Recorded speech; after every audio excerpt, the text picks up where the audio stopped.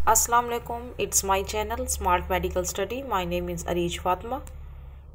Therapeutic exercises का chapter number seventeen shoulder and shoulder girdle हमने start किया हुआ था उसमें आज हम देखेंगे painful shoulder syndrome non operative management इसको हम रोटेटर कफ डिज़ीज़ के अंदर क्या हम देख सकते हैं टेंडिनोपैथीज मीन्स के टेंडेंस की pathology Most of soft tissues in suprahumeral space can be a source of pain that limit movement and function and interferes with the sleep. Impingement syndrome believed to be the result of mechanical compression. Uh, maybe it is a mechanical compression and irritation of any suprahumeral tissues.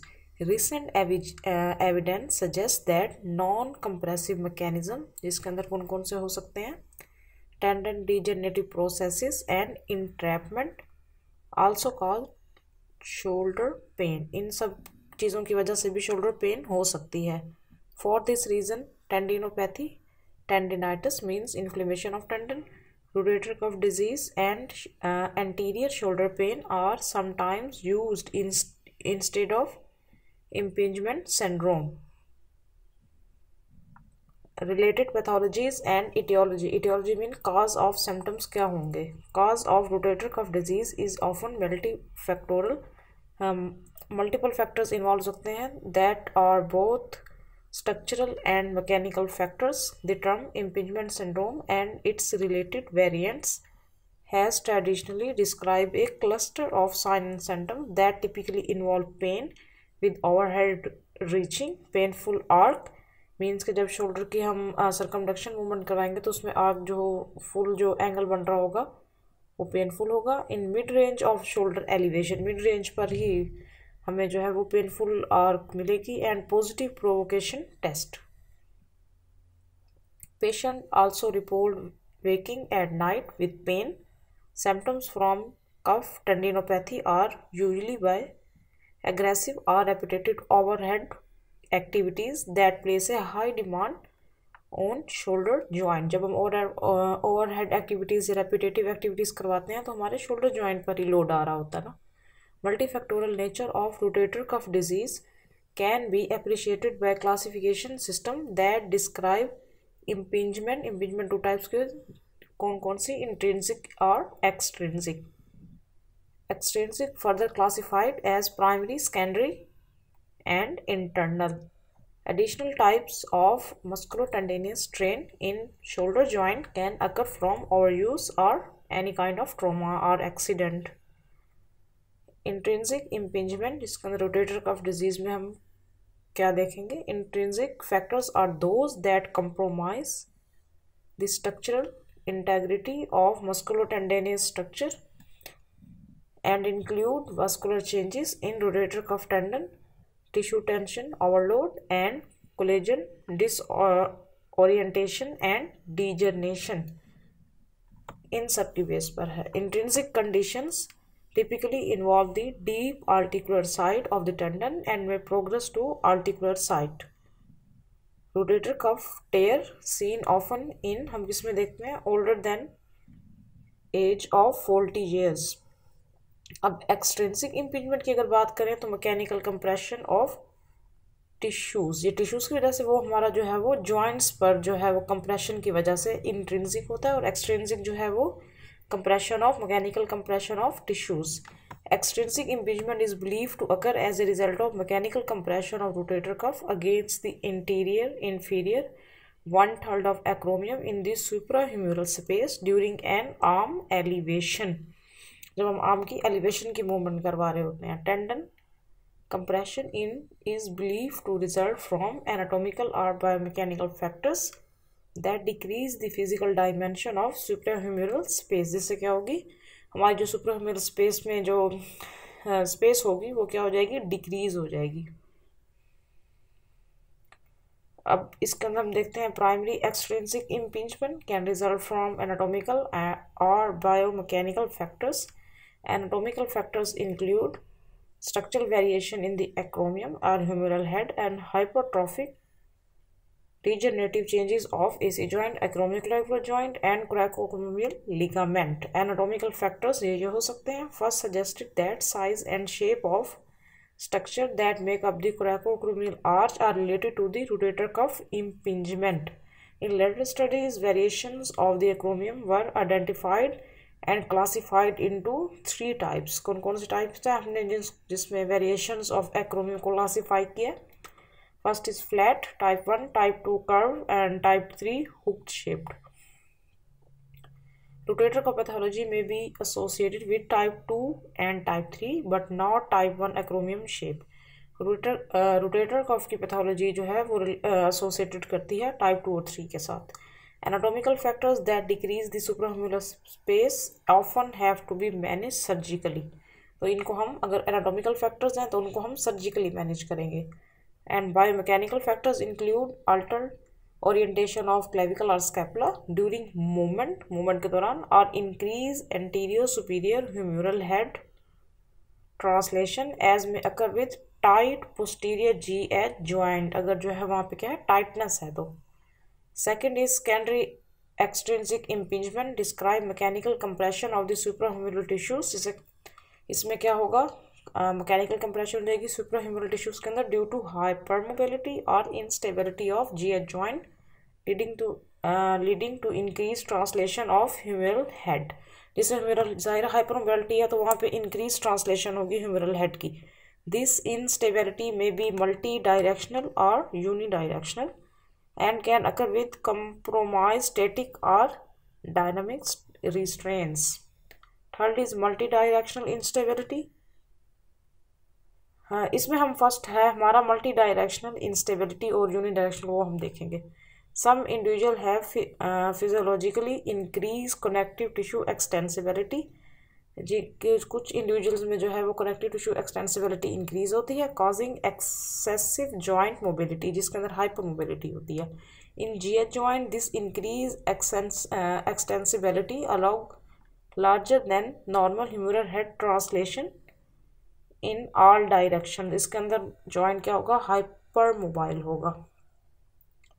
Many individuals particularly those involve in overhead activities develop laxity of the capsule from continually subjecting the joint to tensile forces. इसके अंदर जो individuals overhead activities ज़्यादा करते हैं, जो उसमें involve होते हैं तो उनके अंदर जॉइंट लेग कैप्सूल में लेग्सटी होती है। Hyper mobile G A joint may be supported satisfactory by the strong rotator cuff muscles but with muscles fatigue poor humeral head translation led to faulty humeral mechanics trauma and inflammation of the suprahumeral tissues with multidirectional instability mechanical impingement of tissues in the suprahumeral space इसमें क्या होगी impeachment होगी tissues की in the suprahumeral space is there for a secondary effect of increase humeral head translation अब in second हमारा है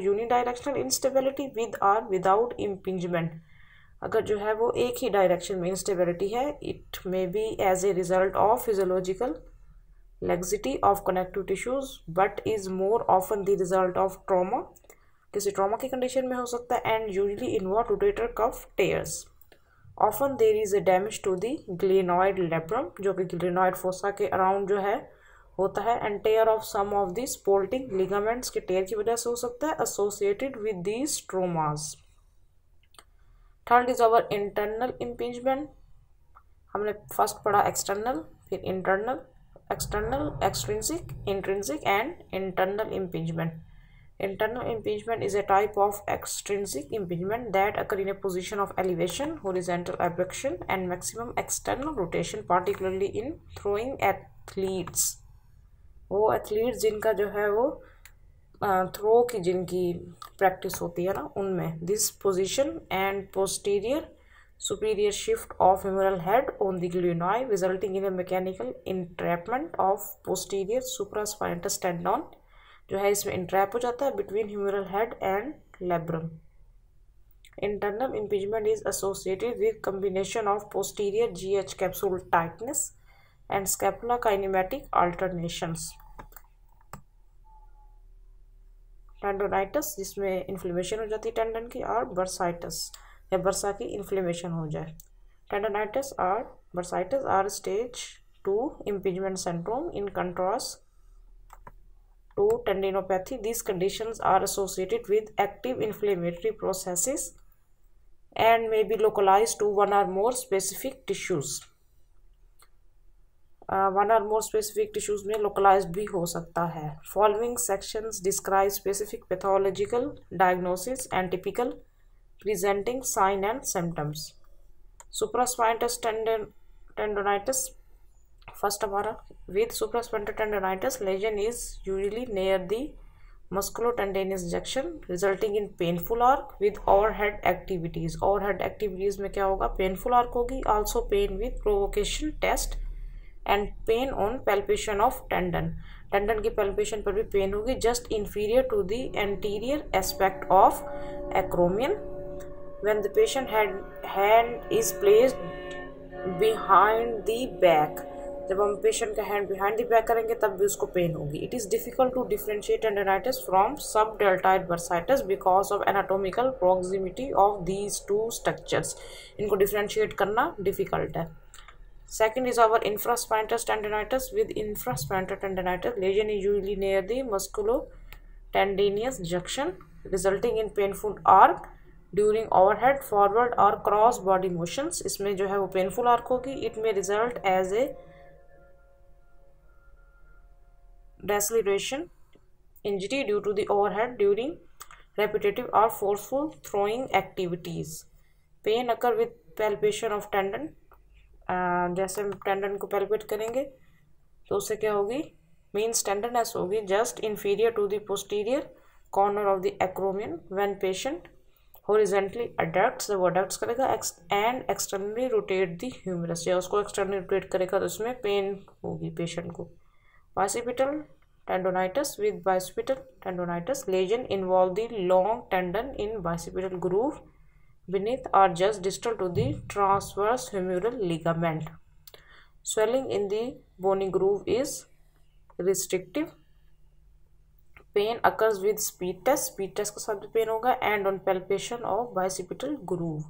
Rupture or dislocation of bicep tendon may compromise its role as a humeral depressor during arm elevation, promoting impingement of tissues in the suprahumeral space. वहाँ भी जो है impingement हुई हुई होगी टिश्यूज की सुपराफिमरल स्पेस में। बर्साइटस लास्ट इसमें हमारा सब एक्रोमियल और सब डल्टॉइड टू दोनों का हम देखेंगे। Bursitis bursitis mean inflammation of bursa when acute symptoms of bursitis are same as those seen with supraspinatus tendonitis acute के अंदर दोनों की कंडीशंस में सेम सिम्टम्स हमें देखने को मिलेंगे।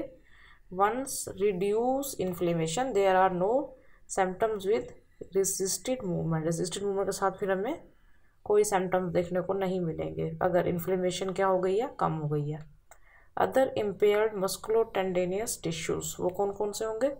Following are the example of other musculotendinous problem in shoulder region pectoralis minor short head of biceps and coraco brachialis are subject to microtrauma, particularly in sports requiring a controlled backward then rapid forward swinging of arm जब हम arm को पीछे की तरफ़ और फिर rapidly forward move कर रहे होते हैं उन स्पोर्ट्स के लिए The scapular stabilizers, particularly the retractors, are also susceptible to microtrauma as they function to control forward motion of scapula.